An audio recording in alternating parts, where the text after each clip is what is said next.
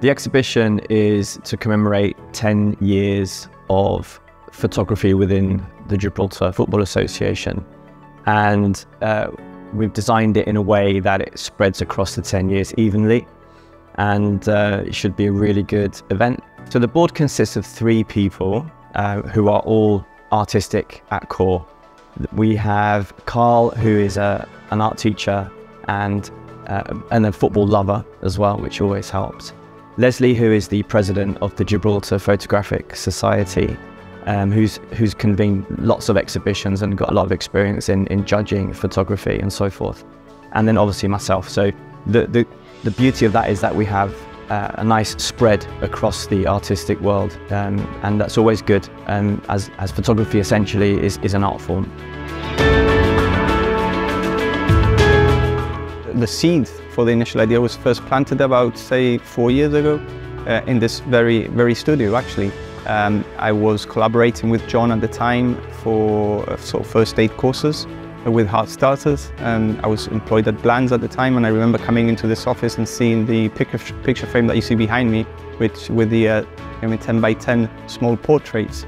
Um, and, and I remember staring at that picture frame for quite some time because it, it actually I mean, it, it, drags you in really to, to want to see each, each individual photograph.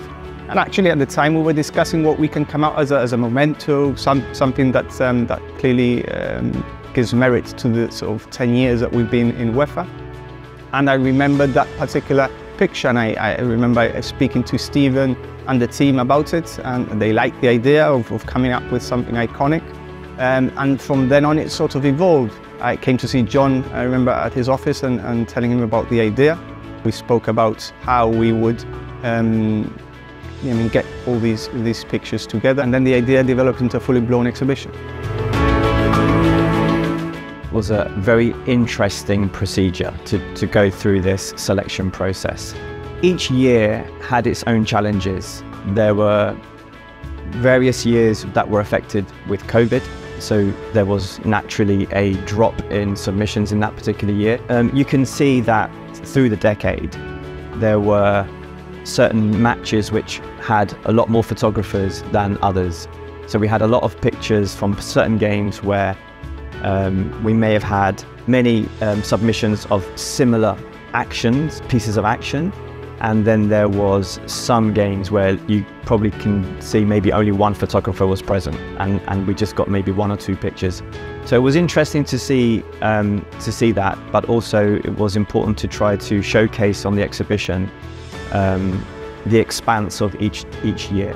Luckily, when you get creative people um, around the table, they generally all look for similar traits in what is a good or bad piece of artwork.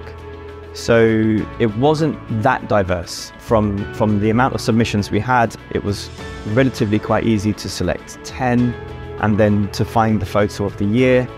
It was usually between the three of us, two of us had, or often on more often cases, maybe all of us had selected the same photo. So it was quite an easy process.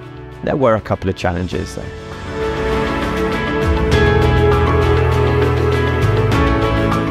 When Julian came to us with the idea of holding an exhibition to commemorate the 10th anniversary of the association's UEFA membership, we thought what better to do it by photographers for photographers independently of the association because ultimately photographers are the guys who spend time around pictures, around football pitches, around football matches, documenting, photographing the action through their lenses, through their cameras, and they don't ultimately get much credit for it.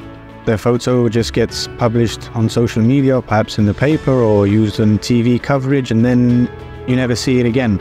Um, it's sort of consigned to history or to a gallery or or to an event for the day or in the month that that it was relevant, and then and then you never see it again.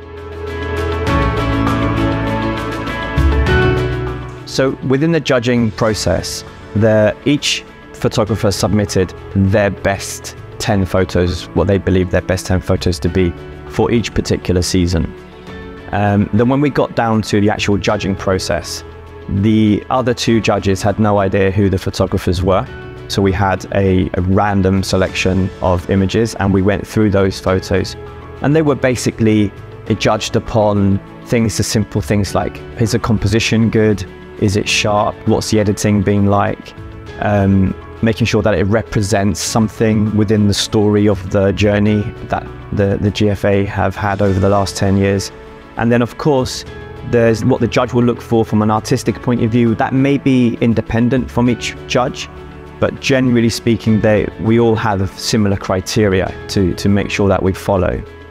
During the submission process, as I said earlier, there were quite a lot of images that may have been selected or, or submitted from one particular game.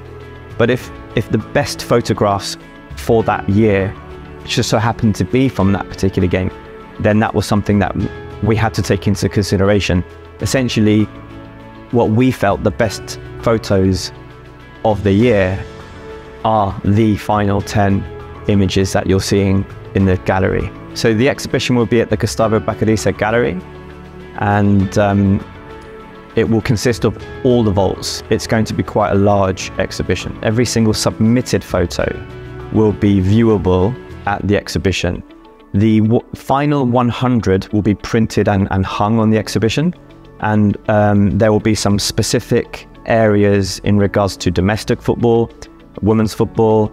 Um, the photographers themselves will also have a section, but there will be every single photo that was submitted. There will be at various areas in the exhibition um, televisions, which will have like a, a carousel of all the different images. So even if photographers were unlucky not to be selected, um, they will have their photos on display for the public.